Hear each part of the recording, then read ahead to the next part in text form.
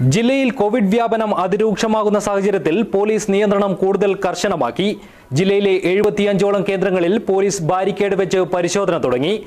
മുന്നൂറ്റി അറുപതോളം രോഗികളുള്ള ഉദുമ കുടുംബാരോഗ്യ കേന്ദ്രത്തിലും ശക്തമായ കോവിഡ് പ്രതിരോധ പ്രവർത്തനങ്ങളാണ് ആരോഗ്യവകുപ്പും പോലീസും നടത്തിവരുന്നത്. നാൽപ്പത്തിനാല് പുതിയ കേസുകളാണ് ഞായറാഴ്ച ഉദുമയിൽ സ്ഥിരീകരിച്ചത്.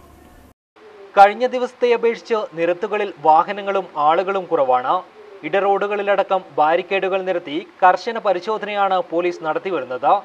കർണാടകയിൽ സമ്പൂർണ ലോക്ക്ഡൌൺ ആരംഭിക്കുന്നതിനാൽ തലപ്പാട് വഴി അതിർത്തി കടക്കുന്നവരും കുറഞ്ഞു. ലോക്ക്ഡൌൺ നടക്കുന്നതിനാൽ അവശ്യ സേവനത്തിലേർപ്പെട്ട ആളുകളെ രേഖകൾ പരിശോധിച്ചു മാത്രമാണ് പോലീസ് നഗരങ്ങളിലേക്ക് കടത്തിവിടുന്നത്. അല്ലാത്തവരെ ബോധവൽക്കരണം നടത്തി തിരിച്ചയക്കുകയാണ്. ആശുപത്രി മരുന്ന് തുടങ്ങിയ ആവശ്യങ്ങൾക്കായി പോകുന്നവർക്ക് സ്റ്റേഷൻ ഹൗസ് ഓഫീസർമാർ പാസ് നൽകി കടത്തിവിടുകയാണ്. കർണാടകയിൽ നിന്ന് വരുന്നവർ വാക്സിനേഷൻ സർട്ടിഫിക്കറ്റ് അല്ലെങ്കിൽ കോവിഡ് നെഗറ്റീവ് റിപ്പോർട്ട് എന്നിവ ഹാജരാക്കണം.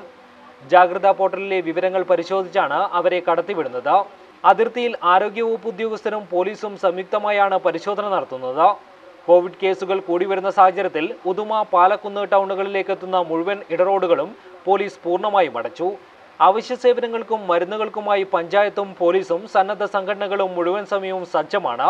കണ്ടെയ്ൻമെന്റ് സോണിൽ നിന്നും ആരെയും പുറത്തേക്കോ അകത്തേക്കോ കടത്തിവിടുന്നില്ല. അത്യാവശ്യ ഘട്ടത്തിൽ പോലീസ് ആവശ്യമായ സഹായമെത്തിക്കുമെന്ന് ജില്ലാ police chief P B Rajeev അറിയിച്ചു. News bureau Uduma.